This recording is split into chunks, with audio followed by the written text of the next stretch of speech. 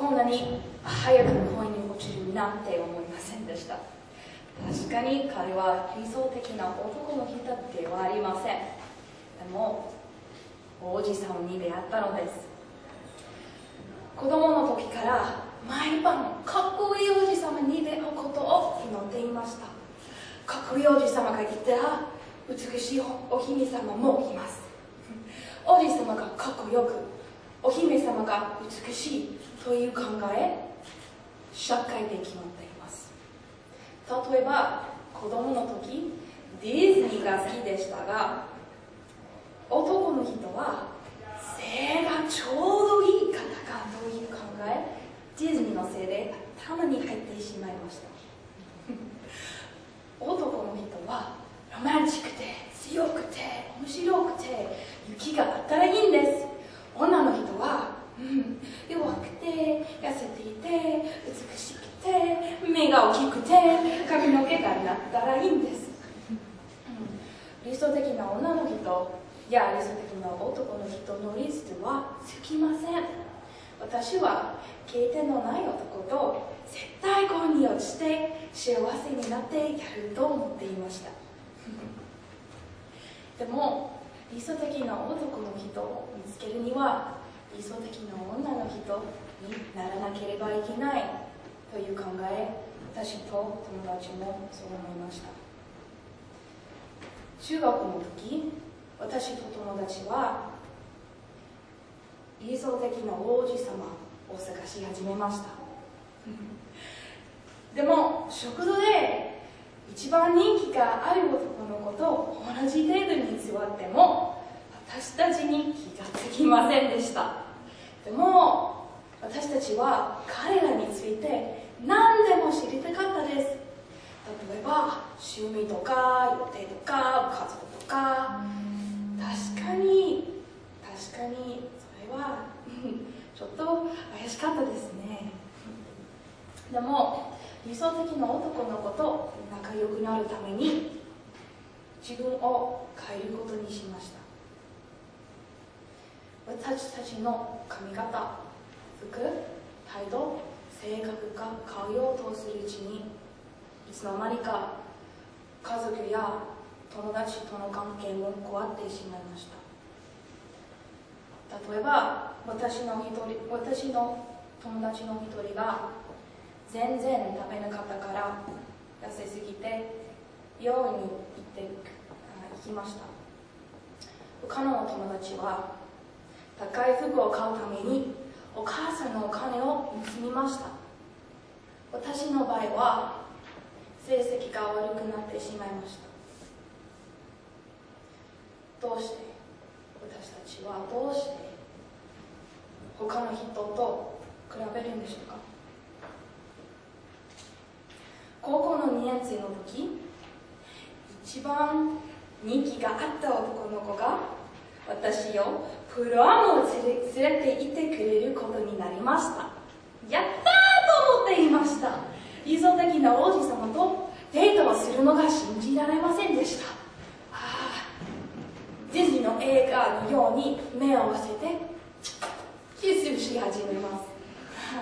でもそれはバカバカしいだと思わされました。うん。プラムの前。おならしくするために何時間もせっかく化粧して綺麗なドレスを買ったのにその男は私に買いに来ませんでした。とっても落ち込みました。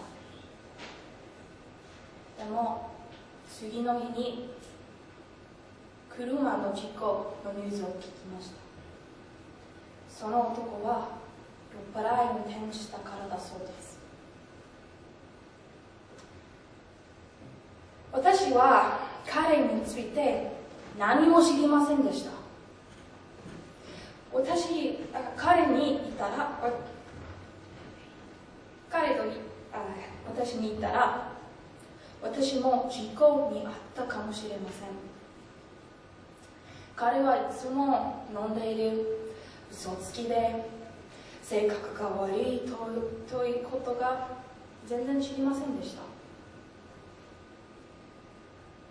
どうして彼のために一生懸命理想的な女の子になるなりたかったんでしょうか？その時から私のカリヘーが素敵という考え始めました。私は自分の体や頭や強さなど好きです。オタクで元気な自分も好きです。どう考えても社会で決まっている理想的な女の人ではありません。でも私は自分が完璧だと思います。日本では自分を褒めることは良くないと聞きました。でも自分を褒めれば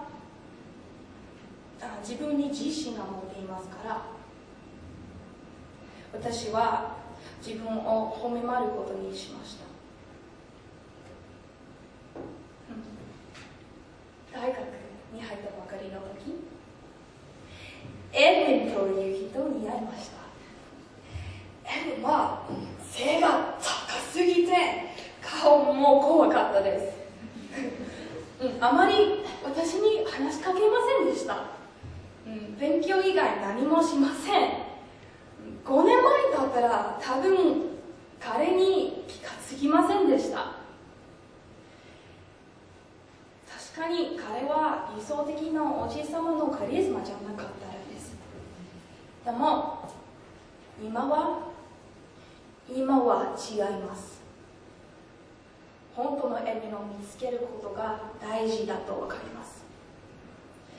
そして一緒に遊んだ時バスケットボールが好きで面白くてすっごい人と思います、うん、エビンは他の人を助けるために一生懸命勉強します。彼は家族が一番大切で家族のために何でもします。私は彼氏に感謝しています。私にどうやっていい人になるか教えてくれます。そして素直にしてくれます。元気が悪い日にはうちでハグしてチョコレートを買ってくれます。お忙しい日にさら笑ってくれます。うん。確かに彼は理想的な社会で決まっている理想的な王子様ではありません。でも私にとってエドゥンは王子様です。そしてエドゥンにとって私はそのままの私は完璧だと思います。ありがとうございました。